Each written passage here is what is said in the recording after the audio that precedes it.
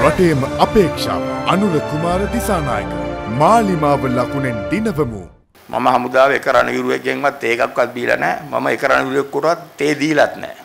ඒ වගේ අනවශ්‍ය සම්බන්ධ ගොඩනගාගෙන නැහැ. අපි තරුණ නිලධාරීන් කාලේ නම් බියර් කේස් පිටින් දෙනවා අපේ සෙබළුන්ට. නමුත් අපි ජේෂ්ඨ නිලධාරීන් වුණාම අපි ඒ වගේ සම්බන්ධතා ගොඩනගා ගන්නෙ නැහැ. ඒකන්ද අපට පුද්ගලික ප්‍රශ්න නැහැ. අපි හොඳ නිලධාරියෙක් තේරුවා නම් දක්ෂ නිසා තේරුවා. දුර්වල නිලධාරියෙක් නම් එයාට වැඩ කරන්න පුළුවන් තැන අපි දුන්නා. යුද්ධ දිනන්න හමුදාව ශක්තිමත් කරන්න අවශ්‍ය දේ කරා. ඒවා කරන්න ඕනේ. සමහරලාට ජනප්‍රිය නොවන තීන්දුව తీරන අපි ගත්තා. යුද්ධ කාලේ මම සෙබළු 2000ක් වැලිකඩට දැම්මා. යුද අධිකරණ වලට තියලා.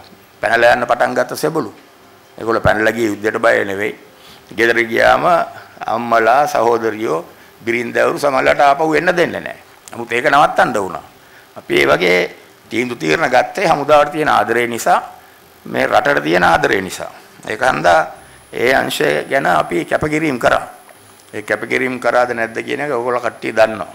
කවුද හමුදාව වෙනුවෙන් රට වෙනුවෙන් කැපකිරීම කරේ කියලා. අපිට බොරු පොරොන්දු දෙන්න අවශ්‍ය නැහැ. කරන්න බැරි දෙයක් නම් අපි බෑ කියනවා. අපේ රට ඇතුළත කරන්න පුළුවන් දේවල් අපි කරනවා. අපි කාර්යක්ෂමද නැද්ද? අපි දක්ෂද? අපිට රණවිරුවත් එක්ක ජීවත් වෙන්න පුළුවන්ද? රණවිරුව ගැන අවබෝධයක් තියනවාද? රණවිරුවන්ගේ ප්‍රශ්න තේරුම් ගන්න පුළුවන්ද කියන එක අපි කියන්න ඕනේ ඒක ඕගොල්ලන්ට තේරෙනවා. අපේ මගේ අවුරුදු 40ක හමුදා ඉතිහාසය ගත්තම මේ ඉන්න පොලිස් නිලධාරීන් පවා ඒක දන්නවා. සියලුම දෙනා දන්නවා. ත්‍රිවිධ හමුදායම අය ඒක දන්නවා. කන්ද ඒව ගැන අපි අමුතුවෙන් කියන්න අවශ්‍ය නැහැ. අපේ හැකියාවල් මොනවද? අපිට බැරි මොනවද කියලා. ඒතකොට ඒ ආකාරයට හමුදා ගැන අවබෝධයක් තියෙනවා, පොලිසිය ගැන අවබෝධයක් තියෙනවා, සීල් ආරක්ෂක බටයින් ගැන. ඒ අනුව අපි අනිවාර්යෙන් අවශ්‍ය පියවර ගන්නවා. කවදාවත් නොතිබුණ තත්ත්වයට මින් පෙර දේශපාලනඥයෝ ත්‍රිවිධ හමුදා සහ පොලිසියට සීල් ආරක්ෂා හමුදාවට නොකරපු විදිහේ කැපකිරීමක් සුබ සාධනයක් අපි ගොඩනගනවා. ඒ නොවූ ආකාරයට අපි අනිවාර්යෙන් මේ මේ සියලු මංශ ශක්තිමත් කරනවා. ඒක ගැන කිසිම සැකයක් අපට නැහැ. ඔය කයිවාරු ගන්න අයට තැනකට ආවෙන් පස්සේ ඕවා මතක් වෙන්නේ නැහැ. හමුදා දාලා පැනලා ගියපු අයටත් ඕවා ගැන මං හිතන්නේ තෘප්තියක් ලැබෙනවා කියලා එහෙම දෙයක් කරා කියලා. අපිට එහෙම දෙයක් කරොත් තෘප්තියක් ලැබෙනවා. ඒකන්ද අපි ඒක කරනවා.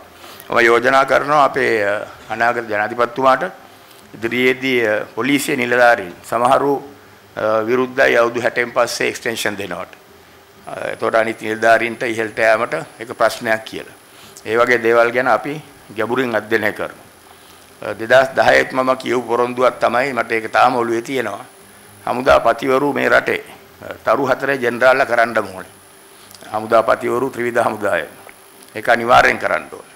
ඊළඟට යුද හමුදාවට නම් තරු තුනේ ජෙනරල්ලා හතර දෙනෙක් එන්න ඕනේ. ගුවන් හමුදා නායක හමුදා වලට අඩු ගානේ තරු තුනේ ජෙනරල්ලා තුන් හතර දෙනෙක් එන්න ඕනේ. ඒ ආකාරයට පොලිසියට සීනියර් DIGලා සමහරලාට අවශ්‍ය ඇති වැඩිපුර ඒව ගැන අපි අධ්‍යයනය කරනවා. පොලිසියේ උසස් වීම ගැන අපිට ඇත්තටම කනගාටුදායකයි. OICලා ඉන්න ඉන්ස්පෙක්ටර්ලා අවුරුදු 8ක් 9ක් OICලා තාම ඉන්ස්පෙක්ටර්ලා තරු දෙකක් ගහගෙන ඉන්නවා. ඒගොල්ලෝගේ සමකාලීන යුද හමුදාව ලෙෆ්ටිනන්ට් කර්නල්ලා වෙලා. ඒකට ඒ වගේ ප්‍රශ්න අපි අනිවාර්යෙන් විසඳනවා. ඒක විසඳිය යුතුම දෙයක්. ඊළඟට ඉස්ලාමිකයන්ගේ වැටුප්පල විශාල ප්‍රශ්නයක් තියෙනවා. මම දන්නවා මට හම්බ වෙන ඉස්ලාම වැටුපක් රුපියල් 55000ක්. මගේ ගෙදර බිල ලයිට් බිලෙන් භාගයක් විතර තමයි ඒකෙන් ගෙවන්න පුළුවන් කොළඹ. රුපියල් 55000යි. මොකද මගේ ගෙදර 15 දෙනෙක් විතර ඉන්න ආරක්ෂක බටේ ඔක්කොම එක්ක. ඒක අන්දා ලයිට් බිලෙන් භාගයක් ගෙවන්න පුළුවන්. ඒ අරින්න මට ඒකෙන් කරන්න පුළුවන් දෙයක් නැහැ. මම හිතන්නේ හැමෝන්ටම එහෙම තමයි. අඩු ගානේ වාහනයකට පෙට්‍රල් ලීටරයක් ගැලුමක් ගහගන්න බෑ ඔය ඉස්ලාම් වැටුපෙන් ජීවත් වෙන අයට. ඒව ගැන අපි අනිවාර්යයෙන්ම රණවිරුව කියන්නේ රට ජාතිය බේරගන්න ඉන්න අය නිසා ඒ කරන කැපකිරීම ඒව ගැන අවශ්‍ය පියවර ගන්න. අවුරුදු 45 රණවිරුවෙක් සෙබලෙක් අපේ අවුරුදු 42කින් විතර විශ්‍රාම යනවා. ඒගොල්ලොන්ගේ අනාගතය මොකක්ද වෙන්නේ? ඒ ගැන අපි ශක්තිමත් පියවරක් ගන්න. breaking.lk